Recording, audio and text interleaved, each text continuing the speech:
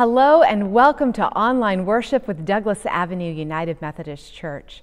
I'm Reverend Meredith Manning Brown, and on behalf of our staff and all the people who are helping to lead worship today, I welcome you. It is such an honor and a privilege that you are joining with us on this special day of worship. I want to encourage you, if you would, to fill out the contact form, particularly if this is your first time to worship with us as Douglas Avenue United Methodist Church. There's a place there, of course, for your contact information so that we can be in touch with you, uh, connect with you, invite you to online worship and small groups and service in our community and all of those things. So please fill that out. There's also a place there for your prayer requests that go right to our pastors and to our prayer team.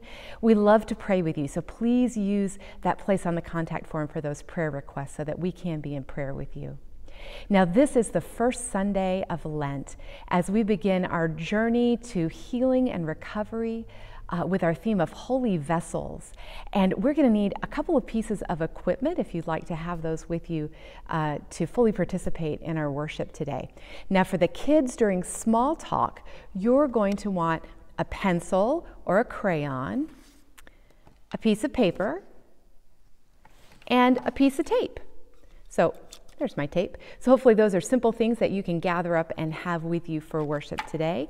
And then everyone, if you have available to you a piece of beach glass, this would be the time to pull this out. We made these available to folks in the community with our Lenten activity kits. If you weren't able to pick up one of these uh, this past week, please let us know in the church office. We'd love to get one of these to you so that you have those materials, the reflection book, and the other activities uh, for this uh, series and this time of worship during the season of Lent. Now, when we do gather for online worship, we covenant together to participate and to be a blessing. And that means that we're going to fully participate in what it is that we're doing today. So I encourage you to turn off other devices and distractions, to light a candle if that helps you to focus, and then just really participate fully in what we're doing. Sing the songs, pray when we're praying, use the beach glass and the paper and the tape and the pencil, all the things, um, and just really fully participate. And then we covenant to be a blessing. And that means that in every way that we are together in online worship, in the comments, with those people that we may be joining with in person in worship, and with the community, that all of it is a blessing in the way that we are together.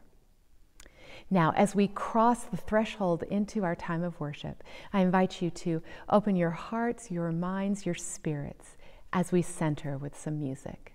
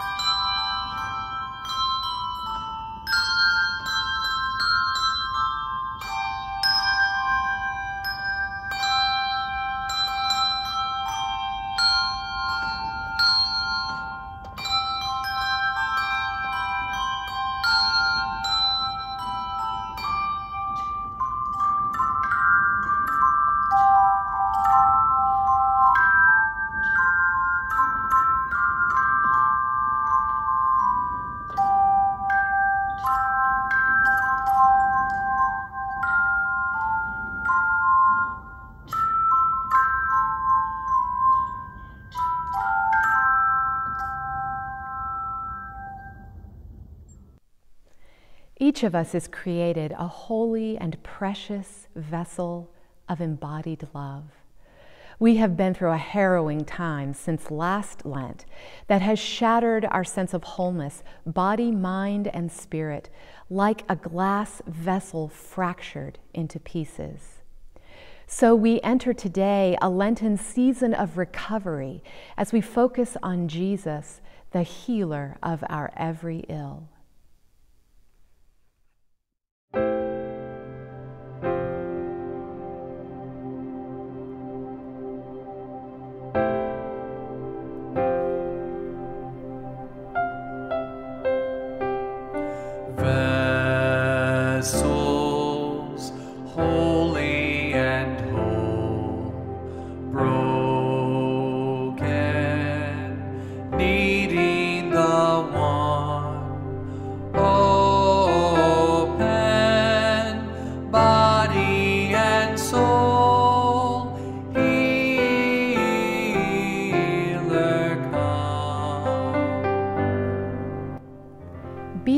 begins as something whole and yet discarded.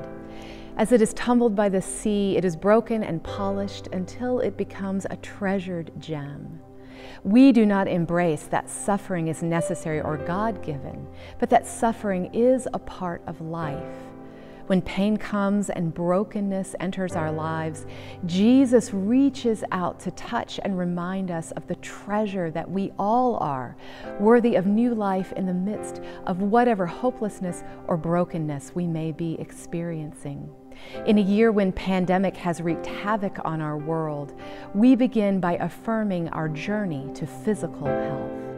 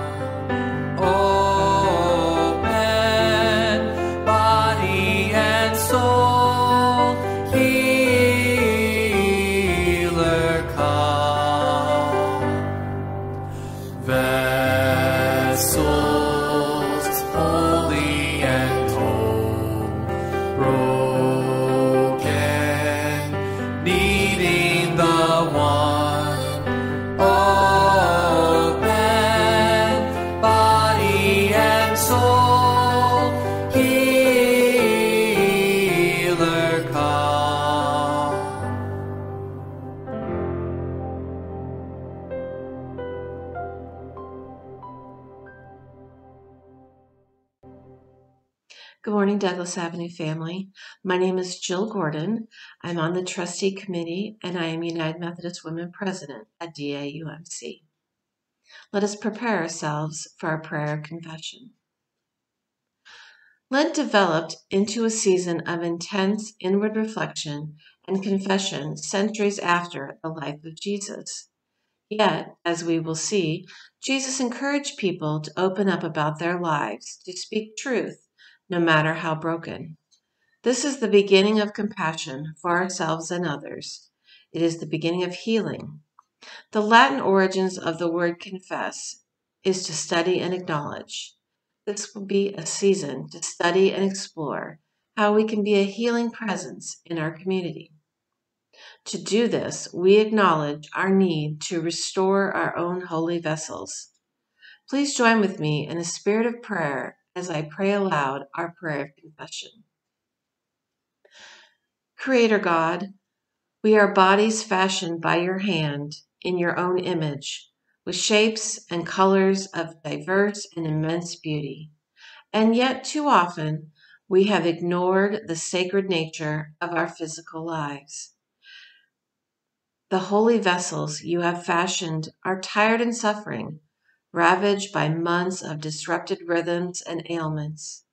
Our fragility has come into full view and we are frightened. We cannot fathom the proportions of loss, so we look away, sometimes even from our own needs. Help us, healing God. Show us our strength. Forgive our inertia. Move us to move one step at a time toward greater care. Please join me in a moment of silent prayer as we sense and acknowledge our yearning for wholeness.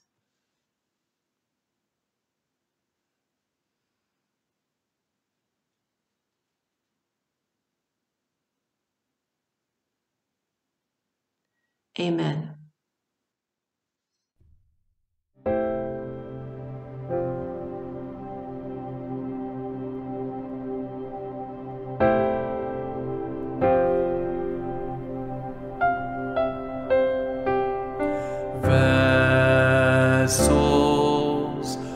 Holy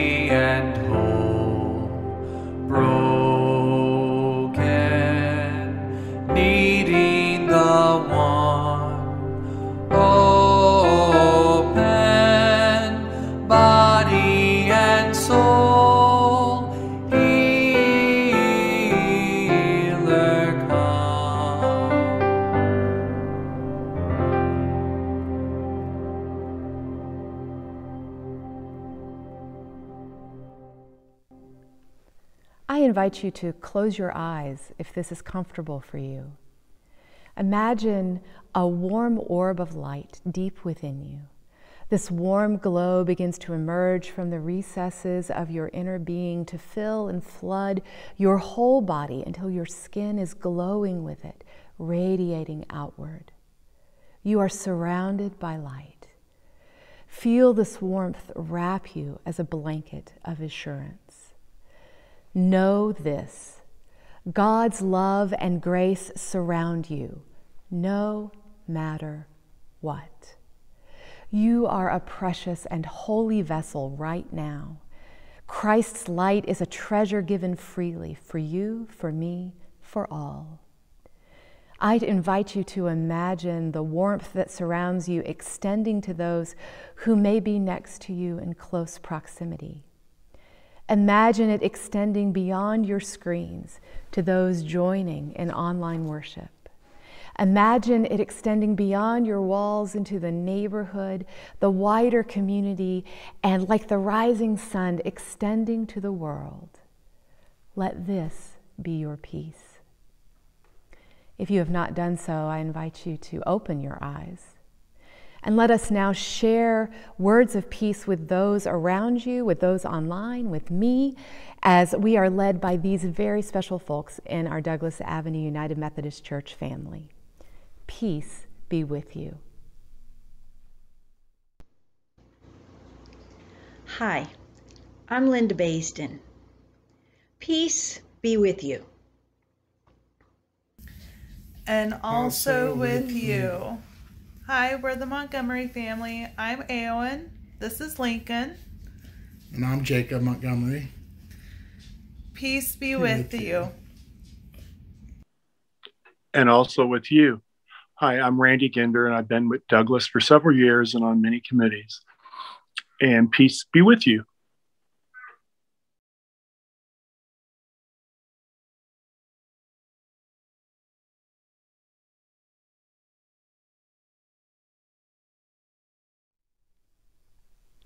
Okay, everyone, it is time for small talk. I want to encourage all the children who are joining with us in worship to gathering close to your device, to your uh, to your screen, so that you can see everything that's going on. And remember, if you can, to grab that piece of paper and a pencil or a crayon, whatever you have, and some tape because uh, Miss Laurie and Laud the Lamb are going to do some things with those. Miss Laurie is our Director of Children and Youth Ministries, and Laud the Lamb is her assistant. So gather up your things and come in close for small talk. Good morning, everybody. And I am Miss Laurie. This is Laud and his assistant Cohen.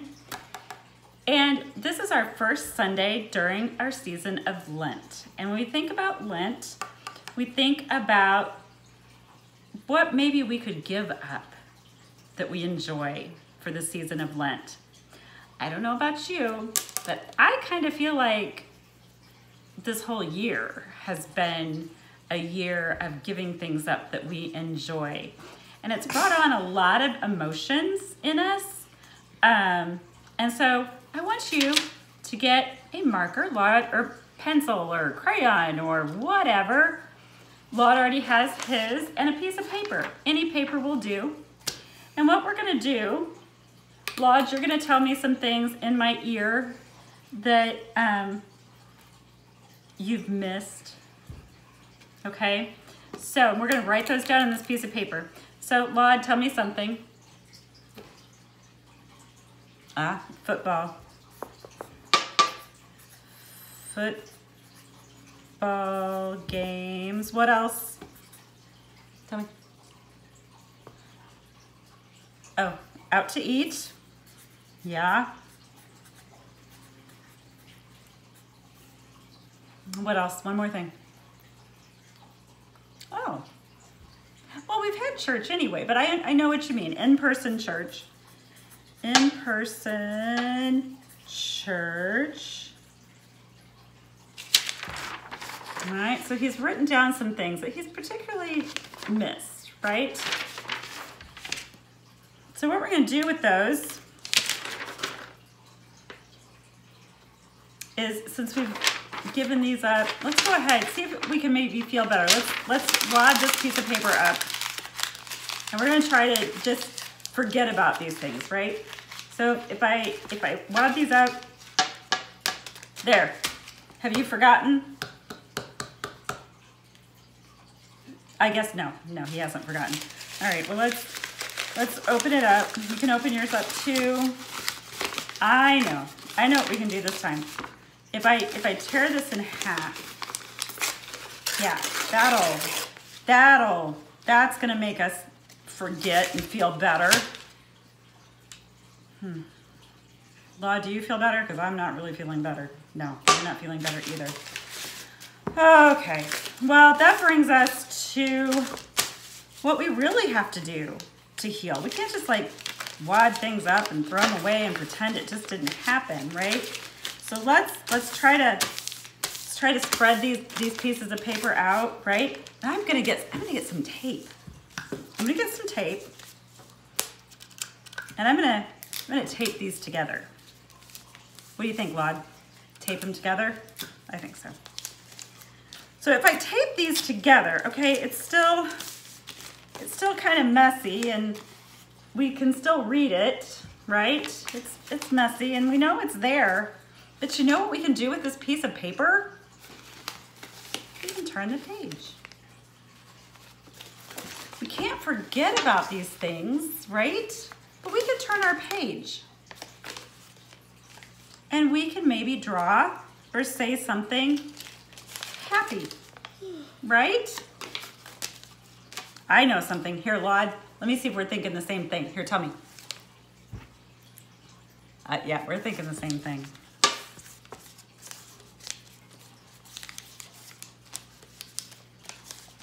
You could decorate this however you want. Something that's giving you hope, that will make you feel better. We turned the page on all of this, and I've written, spring is coming.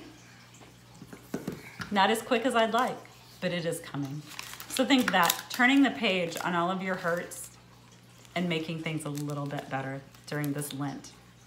What could you do to make it better? Bye, guys.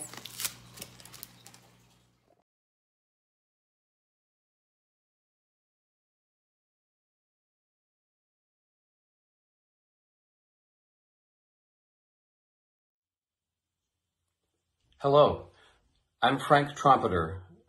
I've been at Douglas Avenue for about three years. I sing in the chancel choir and play saxophone in the praise band. Our reading from the Bible is Matthew chapter 8, verses 1 through 4 and verses 16 and 17. When Jesus had come down from the mountain, great crowds followed him, and there was a leper who came to him and knelt before him, saying, Lord, if you choose, you can make me clean. Jesus stretched out his hand and touched him, saying, I do choose, be made clean. Immediately his leprosy was cleansed. Then Jesus said to him, See that you say nothing to anyone, but go, show yourself to the priest, and offer the gift that Moses commanded as a testimony to them. That evening they brought him many who were possessed with demons, and he cast out the spirits with a word and cured all who were sick. This was to fulfill what had been spoken through the prophet Isaiah. He took our infirmities and bore our diseases. May God bless our hearing and understanding of the Bible reading we have received today. Please join us in singing Healer of Our Every Ill.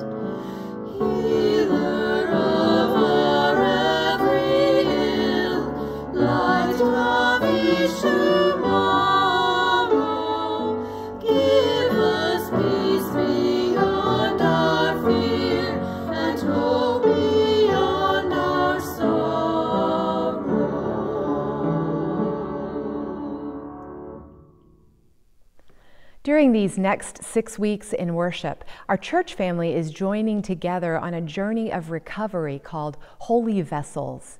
If you are familiar with more traditional or culturally appropriated expressions of the season of Lent, this may feel a little bit different for you. Lent is that 40 days of deeper worship, prayer, fasting, study, and service in preparation for Easter. Often you will hear people say, I'm going to give up fill in the blank for Lent, like chocolate or meat on Fridays or video games or social media. This has too often, though, become separated from the reason to do that, which is to give up or fast from something that you enjoy as a way to spend that time or money or energy in pursuing a deeper relationship with God. Fasting and all of the spiritual practices we often lift up during this season of Lent are necessary and important. From a more renewed time of prayer, commitment to weekly worship, Bible reading, giving of tithes, regular giving and service to the community. I commend all of it to you. As a church family, we are joining together in this season of renewed worship, prayer, and service by taking a journey of recovery and healing with Jesus, exploring healing stories from the Gospel of Matthew. We surely need this journey of recovery and healing. Since this time last year, last year's season of Lent, we have been through a difficult and frightening year. The COVID 19 pandemic has wreaked havoc on whatever we might have considered normal. We have seen our individual, communal, and systemic participation in racism and white supremacy laid bare. Many of us are just beginning to understand the interplay of systemic racism and access to health care, among other basic human rights, that has caused people of color to suffer and die from COVID 19 at an alarmingly higher rate. These and other experiences of the past year have shattered our sense of wholeness in body, in mind, in spirit, in our community, like a glass vessel fractured into pieces. So we are going to listen, reflect, pray, sing, and serve during this season, exploring the healing stories of Jesus that help us understand God's solidarity with human suffering. That indeed Jesus is God with us in the midst of our pain, confusion, sickness, struggle, and brokenness we will journey toward partnering with God and the Holy Spirit to make something beautiful from that which is seemingly broken. Like the symbol of beach glass, a treasure that we will consider and use in our worship together and through the week. Our healing Bible story for today that Frank shared with us is a powerful example of Jesus' healing love and solidarity with all who are experiencing physical sickness, and particularly those pushed out of their community as a part of that experience. In this brief and powerful encounter, a man with leprosy stops Jesus, kneels before him, and seeks healing. He says to Jesus, if you choose, you can make me clean. For some context, Leprosy in the Bible is not identical with Hansen's disease or leprosy as we know it today. Rather, in our Bible stories, leprosy could indicate a variety of skin diseases, from boils to simple eczema. Whatever this man's skin condition, we need to understand, though, his plight within the context of his community's understanding and practice, which we can learn about in the Bible book of Leviticus in chapters 13 and 14. From Leviticus 13, verses 45 through 46, we find that the person who has leprous disease shall wear torn clothes, and he shall cover his upper lip and cry out, Unclean, unclean. He shall live alone. Leprosy within this context is described by biblical scholar Eugene Boring as physically and socially a living death. In the Mishnah, the rabbis compare healing from leprosy to resurrection from the dead. How amazing, how hope filled, how full of recovery, both physical and communal, is this encounter of a man experiencing living death and Jesus, the healer and lover of each beloved, treasured person. We hear how the diseased man stops Jesus, kneels before him, and names him Lord. He says to Jesus, If you choose, you can make me clean. Jesus reaches out, touches the man, an absolutely outrageous act, breaking all the religious codes and social taboos that separated folks with leprosy away from the community. Reaching out and touching him, Jesus says, I do choose, be made clean with a boundary shattering, healing touch and promise of wholeness, Jesus shows this man, his community, and all of us that this man with leprosy is not outside of God's kingdom, that he is not outside the love of God, that he is not outside the love of community itself, that he is family, that he is worthy of touch, that he is included and beloved and a precious treasure. Jesus then makes sure that the man will be fully integrated back into his community after this living death of leprosy. Jesus tells him to get going immediately, to neither dilly nor dally, nor stop for conversation, or to tell others about what has happened to him, but instead to immediately get himself to the priests at the temple so that he could be officially certified as free from leprosy to be officially recognized as clean, thus allowing him to be completely restored to family, friends, livelihood, activities, community, a healed and whole life. Now, most of us can remember a time when we felt left out, or that we didn't belong, or that we weren't good enough. Most of us can probably empathize and draw some connections with this man with leprosy.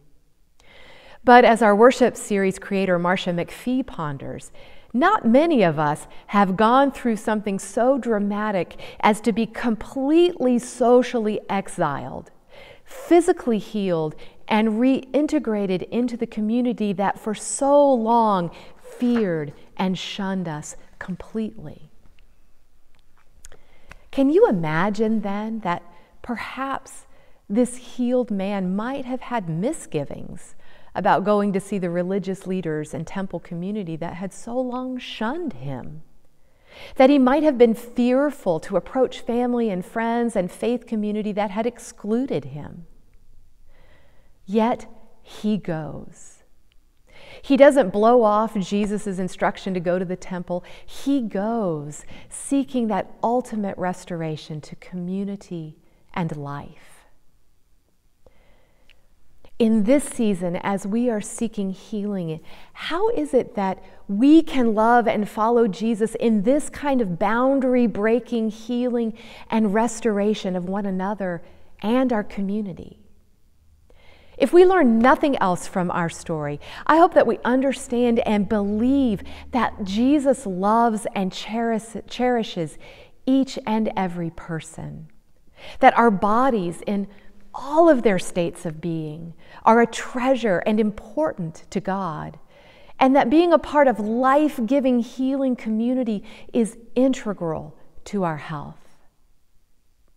With that said, how is it that we as individuals and as a church family can be about that same kind of healing and restoration as our Lord Jesus? How can we promote physical health, wholeness, and healing? We know that healing comes in so many ways through medicine and access to healthy food and activity and ongoing preventative care for our bodies, these treasures. We know that we must continue to seek the health of everyone in our community at this time by continuing physical distancing, mask wearing, and participating in the equitable distribution of vaccines in our community. The care and help that we can give one another to promote health is certainly a start, but it extends to the care and systemic work we are called to do as individuals and as a church family to break down the barriers that restrict access to health care, to break down the barriers to healthy food and activity for all people in our community. In Springfield, this particularly means removing barriers and building systems that support people experiencing homelessness, addiction, or simply being black or Hispanic or queer. On this journey of recovery and healing, may we find ourselves kneeling before Jesus, asking for that very healing for ourselves and for our community. Asking for healing takes humility as we realize that we need help, as we realize that we need God, as we realize that we need each other. Asking for healing takes courage as we risk naming our brokenness and our needs, as we risk a changed future of wellness and wholeness. And asking for healing takes hope and trust as we lean into our faith that all people are treasures, beloved children of God, created for beautiful, full, blessed, and purposeful lives. Thanks be to Jesus Christ, our healer of our every ill, for the promise and hope of healing for all. Amen. Good morning. We are so excited that some of the praise band is back together to be able to play together. Please join us in singing I Lift My Hands.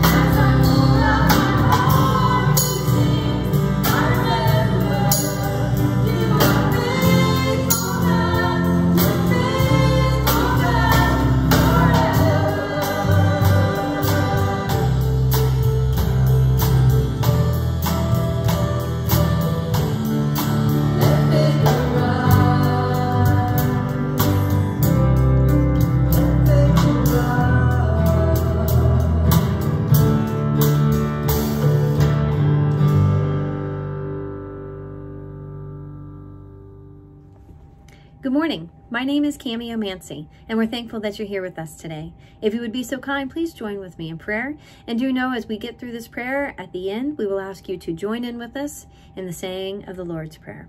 Please bow your heads, open your hearts. Heavenly Father, healer of our every ill, especially our malady of separation and fear, we come to you to make our petitions known. Hear our cries for the healing of body, mind, and spirit.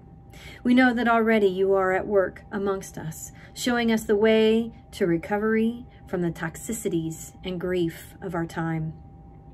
As demolished pieces that are treasured when found, we trust that beauty from brokenness is possible.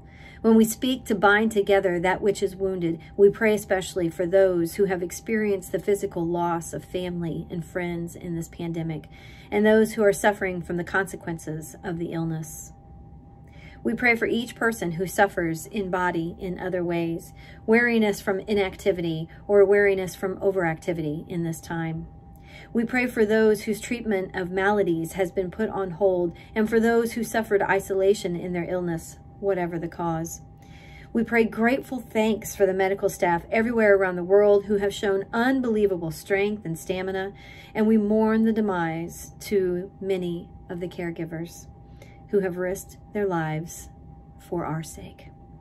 We pray this day for those individuals. Heavenly Father, please be with them. And now if you would, join me in the Lord's Prayer. Our Father, who art in heaven, hallowed be thy name. Thy kingdom come, thy will be done on earth as it is in heaven. Give us this day our daily bread, and forgive us for our trespasses, Lord, as we forgive those who trespass against us. And lead us not into temptation, but deliver us from evil. For thine is your kingdom, and your power, and your glory forever. In Jesus' mighty name, amen. Thank you.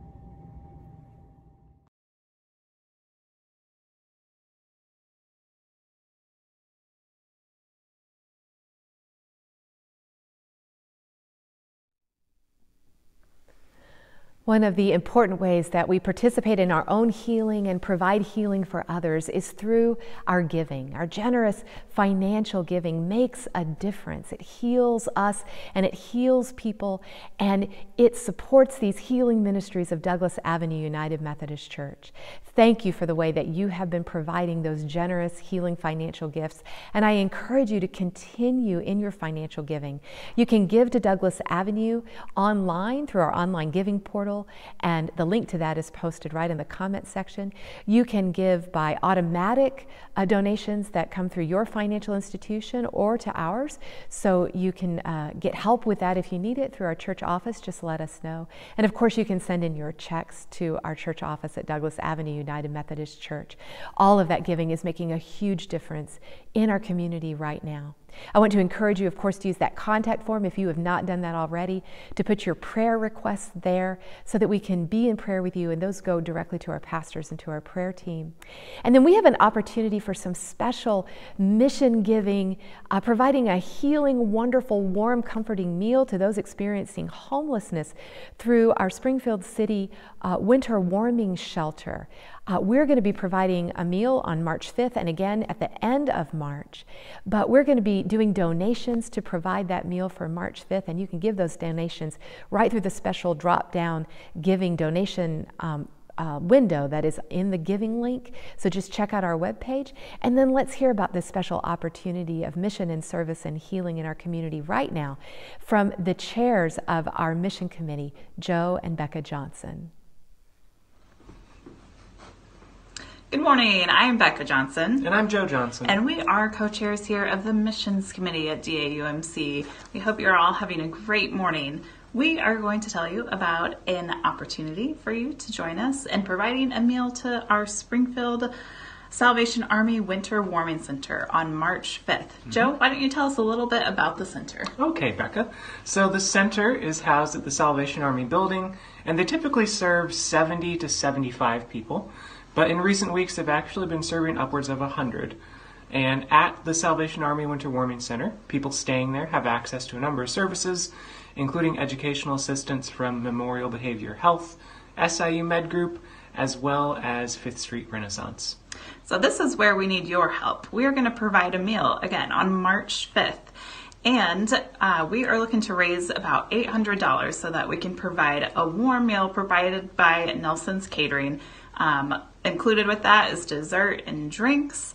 And so if you are able, please join us in doing that. You can provide your donations through the church website or send it to the church office, but we need you. So join us in doing so, and we hope you're all having a great Sunday.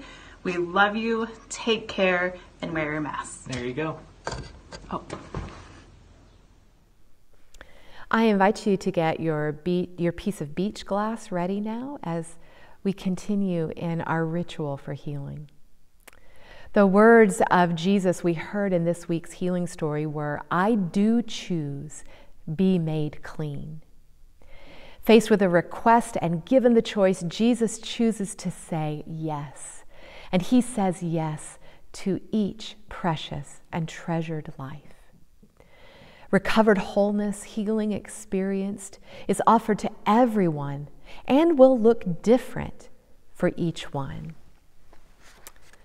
So I invite you to take up a piece of beach glass now and examine it closely, noticing the worn edges and the color, feeling the texture and the thickness. Examine it as a treasure that is completely unique, which of course it is. Now shift your thinking to its rough edges.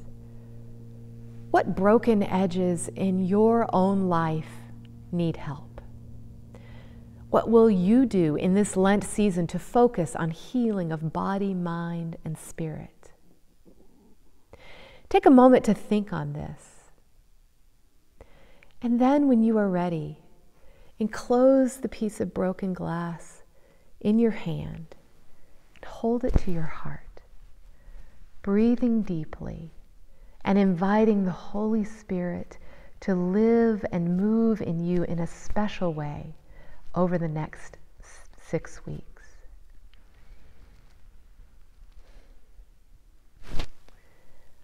I invite you to keep your piece of glass close at hand this week, perhaps on your desk, on your nightstand, or in your pocket where you can touch it regularly this week, remembering that you are loved. You are not alone. You are holy. You are whole. Please join us in our final hymn, What a Friend We Have in Jesus.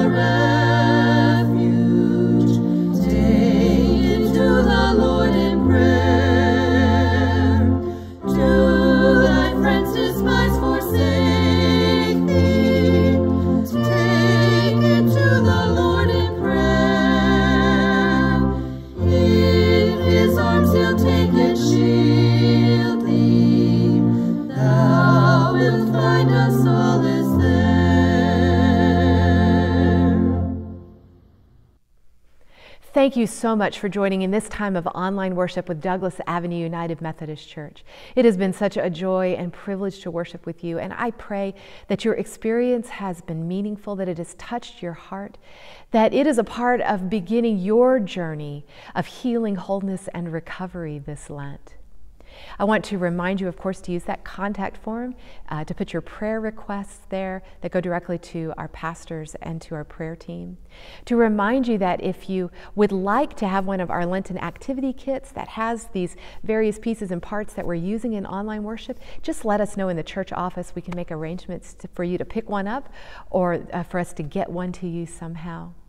We love you and we are so glad to be connected with you in this special season and time and in online worship in this way. It is a wonderful journey that we get to share together.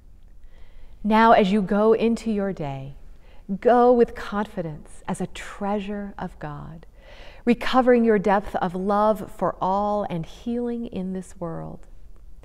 May the words of Jesus ring in your ears I choose you. And may the Spirit deliver salve to your soul and power to your living. Go in peace to love and serve your God. Amen.